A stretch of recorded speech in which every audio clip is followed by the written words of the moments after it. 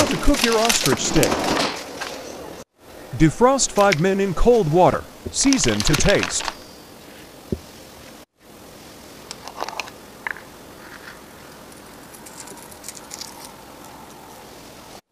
Preheat pan with butter.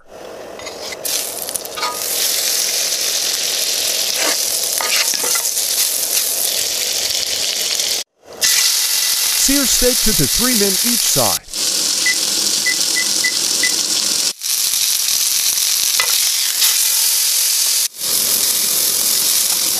Bake in oven for 150 for 10 minutes. Let sit for 5 minutes.